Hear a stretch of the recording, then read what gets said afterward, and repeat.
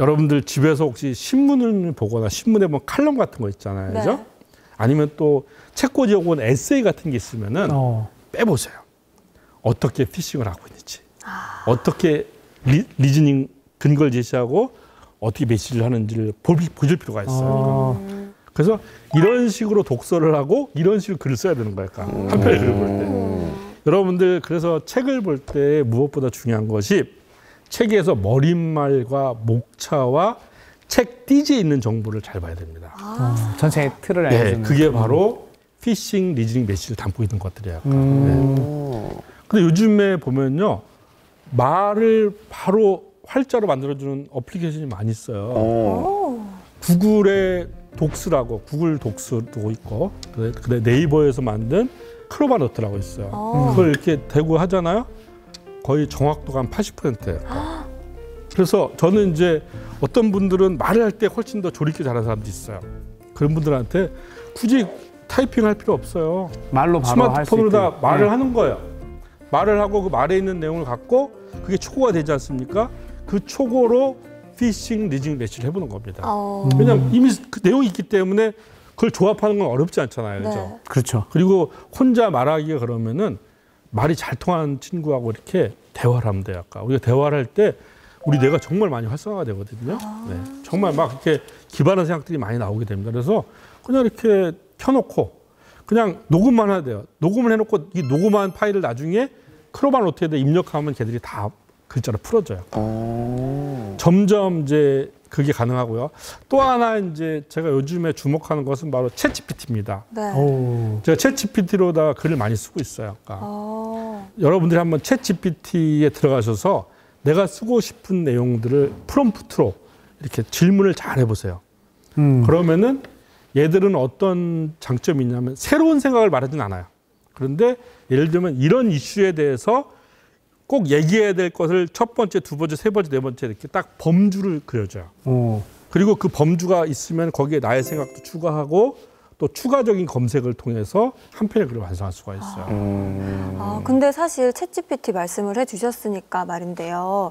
요즘에는 챗GPT가 글을 또 워낙 잘 쓰잖아요. 예, 예. 예. 그래서 뭐 꼭 우리가 글쓰기를 잘할 필요가 있나? 우리보다 더 잘 쓰는 챗GPT가 있는데 이렇게 말씀하시기도 하거든요. 맞아요. 그럼에도 불구하고 우리가 글쓰기를 과연 연습을 해야 되나? 예, 그렇죠. 이런 질문을 또 할 수가 있을 것 제가 같아요. 제가 한번 역으로 질문을 드려볼까요? 네. 자 전자계산기가 생겨서 네. 연산을 전자기기가 다 하고 있죠, 그죠? 네. 근데 우리가 수학을 할 필요가 있나 이렇게 묻, 나요안 아. 묻죠, 그죠? 과거에는 수학을 잘하는 것은 연산을 잘해야 수학을 잘하는 거였어요. 그런데 전자계산기가 등장하면서 연산은 다 전자계산기가 하고 있고 네. 인간은 그걸 바탕으로 더 고등한 수학 문제에 집중하고 있잖아요, 그죠? 야... 여러분들 챗GPT는 뭐냐면 글쓰기의 전자의 단계가 똑같은 겁니다. 범주 설정한 걸 그대로 베껴서 쓰는 사람 있겠죠, 그죠? 네. 음. 근데 어떤 사람은 그거에다가 자기의 창의적 생각과 더 추가적인 검색을 해서 더 훌륭한 글을 쓸 수 있는 사람이 있어요. 그러니까 이런 얘기를 합니다. 앞으로 세상은 챗 GPT를 잘 활용하는 사람과 그렇지 않은 사람을 나눠줄 것이고 챗 GPT의 등장으로 인간의 어떤 그 유용성이 사라지는 것이 아니라 챗GPT를 이용하지 못한 사람이 사라진다는 얘기래요. 그러니까 음. 바로 이렇게 우리는 바로 글쓰기에도 이런 것들을 그러 그러니까 적극적으로 도입을 해야 돼요. 좋은 도구다. 예, 그렇죠. 네, 그렇죠. 거예 글쓰기 네. 도구가 이렇게 챗GPT도 있고 크로마노트도 있고 구글 독스도 있고 이런 많은 것들을 활용해서 바로 우리가 디지털 시대에 이런 글을 쓸 수가 있는 겁니다.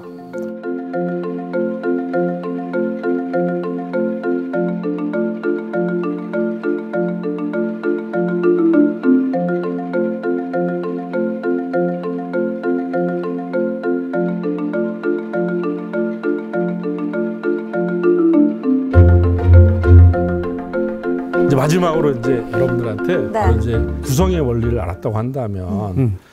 글 속에서 이제 무엇을 쓰고 무엇을 쓰지 말아야 될지에 대한 이야기를 좀 해야 되잖아요, 그죠? 음. 음. 그러니까 이 글이라고 하는 것은 우리의 생각들이 굉장히 많단 말이에요. 그 그다음에 또 현실에서 또 벌어진 게 많아요. 이걸 다 글로 옮기는 게 아니죠, 그죠? 네. 글로 옮길 가치가 있는 것만 선택을 해야 되는 거잖아요, 그죠?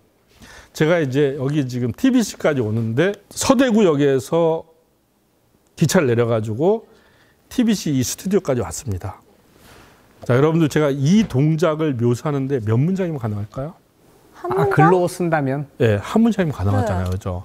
백승권 강사는 서대구역에서 택시를 타고 TV 스튜디오에 왔다. 끝이죠? 음. 근데 제가 실제로 오는 과정 어떨까요? 기차에서 내리죠. 플랫폼을 지나서 역을 빠져나와가지고 택시를 잡고 이 택시가 얻었던 거리를 통해서 이 앞까지 왔고 이 앞에 와서 또 건물을 해서 엘리베이터를 타고 이렇게 엄청나게 많은 복잡한 과정인데 우리가 쓰나요 안 쓰나요?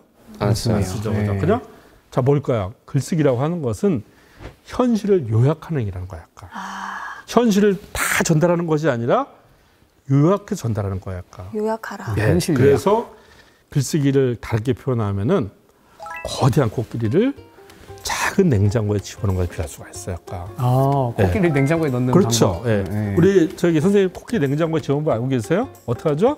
문을 연다. 예. 코끼리를 넣는다. 예. 문을 닫는다. 예. 우리 이로써 우리 선생님은 아재로 인정됐습니다. 원래 이거는 저 같은 아재들만이 아는 겁니다. 자, 근데 현실적으로는 코끼리 냉장고에 집어넣을 수가 없잖아요. 그렇죠. 아. 네. 결국 우리가 선택할 수 있는 것은 코끼리 냉장고에 들어갈 사이즈만큼 잘라서 넣을 수밖에 없어요. 토막. 예, 자, 잔인하긴 하지만 이렇게 코끼리 냉장고에 집어넣는 것을 우리가 다르게 얘기하면은 핵심을 요약하는 거라고 이야기할 수가 음, 있어요. 음, 핵심. 자, 핵심은 어떻게 요약이 될까요? 여러분 사과를 반으로 딱 잘랐어요. 네. 네. 그러면 이제 그 가운데 사과씨가 있죠, 그죠? 네. 네. 그 다음에 사과씨를 둘러싸고 넓게 과육이 있죠, 그죠? 네. 그릇에게도 사과씨가 있고 과육이 있어요. 음. 바로 이 사과씨를 우리는 핵심이라고 합니다. 음. 그 다음에 이 과육을 바로 참조라고 합니다. 참조는 핵심을 더 풍부하고 자세하게 전달하기 위한 거야. 아, 아, 아. 바로 전달력과 이해력을 높이기 위한 게 바로 바로 이 과육이니까. 자 여기서 여러분들 사과나무는 도대체 왜 사과 열매를 맺을까요? 인간한테 맛있는 과일을 주기 위해서 열릴까요? 아니요. 절대 아니죠. 왜 그럴까요? 사를 나기 위해 그렇죠. 자기 씨앗을 널리 퍼뜨리려고 하는 거잖아요. 그죠? 그냥 씨앗만 열매 맺으면 똑 떨어지고 말 거 아니에요. 그죠? 음. 근데 여기에다 맛있는 과육을 입혀, 서 사람과 동물이 이걸 먹게 하고 그래서 널널 퍼뜨리는 거잖아요. 약간. 그렇죠. 어. 사실 목적은 씨앗이지만 과육이 있음으로써 이게 더 이 목적이 더 널리 퍼지는 수단이 되는 거잖아요. 음. 네. 글쓰기도 똑같습니다. 자, 여러분들 책이 왜 이렇게 두꺼울까요? 핵심이 많아서 두꺼울까요? 설사 천페이지 가까운 벽돌책이라고 하더라도 네. 핵심은 A4 용지 한두 장이면 다 가능해요. 아. 아. 그런데 얘들이 두꺼운 이유는 뭐냐면 독자가 이 핵심을 풍부하고 자세하게 이해하도록 하기 위해서 참조를 많이 넣어서 두꺼워진 거야, 아까. 또 하나, 회사 안에서 우리가 글을 쓸 때가 있잖아요. 네. 회사 안에서 보고서, 기한서, 이메일 이런 거 쓰잖아요. 여기에 있는 글쓰기는 어떨까요? 여기도 참조를 많이 넣을까요? 짧게. 여기 용건만 쫙. 여기는 용건만 간단히 핵심만 얘기해봐 이렇게 하잖아요, 그죠? 네. 왜냐하면은 업무용 글쓰기라고 하는 것은 신속성과 효율성이 중요하거든요. 음. 음. 그렇기 때문에 참조를 굳이 얘기하지 않아도 핵심만 꼭 얘기할 수가 있어요. 왜냐하면 이 업무용 글쓰기는 익명의 다수를 독자로 대상으로 한 게 아니잖아요. 어, 네. 회사 안에서 같은 직장 사람들끼리 음. 소통하는 거잖아요. 정보를 공유하고 있고 업무에 대한 이해도가 높은 사람들끼리 소통하잖아요. 이런 사람들한테는 핵심만 전달하는 거야, 아까. 우리가 글을 누구와 소통하느냐에 따라서 우리는 핵심만 전달할 수도 있고 참조를 많이 넣을 수 있는 거야, 아까. 근데 중요한 건 뭐냐면 핵심이 무엇이 참조가 무엇인지를 잘 알아야만이 가능하겠죠, 그죠? 자, 그래서 이제 핵심을 한번 설명해 보면요.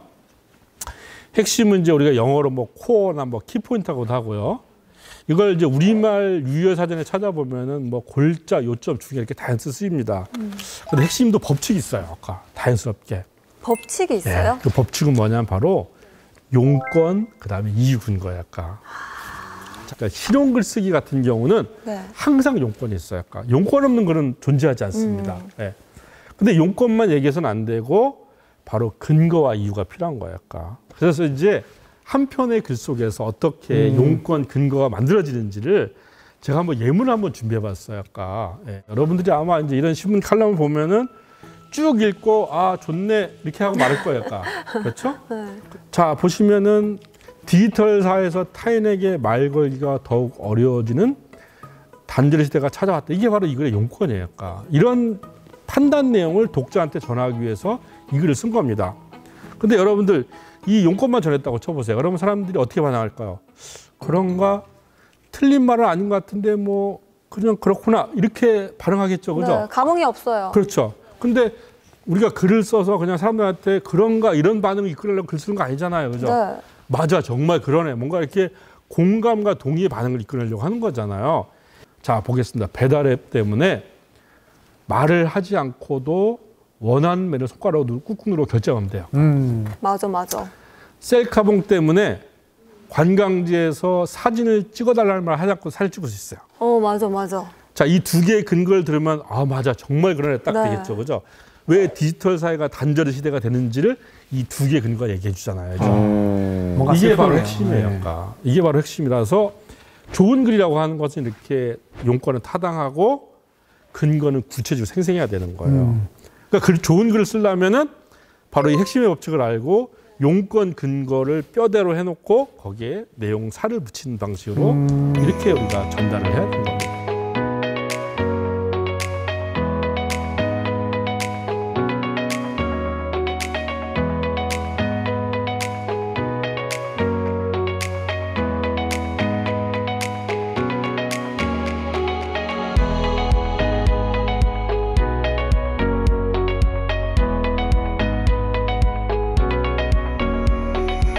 좋은 글이라고 하는 것은 문장을 잘 쓰는 글이 아니에요. 음. 저 사람 정말 글 잘 쓰네.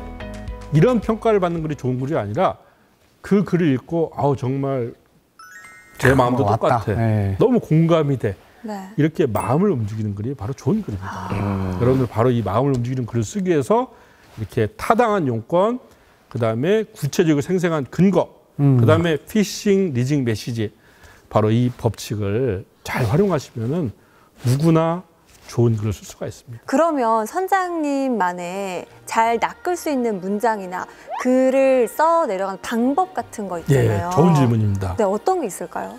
사실 이제 우리가 제일 좋은 건 자기 경험을 얘기하는 게 좋은데 네. 늘내 경험이 이렇게 맞아떨어지지 않을 때가 많아요. 아까. 그럴 때 우리가 쓸 수 있는 좋은 피식의 방법은 바로 인용입니다. 인용. 인용. 아. 다른 사람의 유명한 사람들의 말과 글을 인용하면서 시작하는 거예요. 아까. 그러니까 사람들은 어떤 어떻게 글을 보냐면은 읽는 것을 믿는 것이 아니라 믿는 것을 읽어요. 어, 어 저거는 스티브 잡스의 글이야. 라고 아 믿기 때문에 읽는 거예요. 음 근데 스티브 잡스처럼 유명하지 않은 사람이 스티브 잡스와 비슷한 내용을 쓰면 스티브 잡스의 글만큼 사람들이 보질 않아요. 아 그렇잖아요. 그죠? 네. 그러면 이제 바로 이런 것을 인용을 통해서 내가 끌어들인 겁니다. 사람들의 관심을. 내가 전하려고 하는 내용들을 아주 딱 대변해주는 인용문을 찾으면 그 글은 절반쯤 성공한 겁니다. 아... 인용은 쭈뼛쭈뼛 조심스럽게 하는 게 아니라 당당하게 하는 거예요. 당당하게. 음. 출처만 밝히면은 인용은 아무 문제가 없어요. 그렇죠. 그래서 네. 앞에서 딱 인용을 하고 글을 시작해 나가면은 글이 정말 이 권위가 생기고 음. 신뢰성이 높아져요.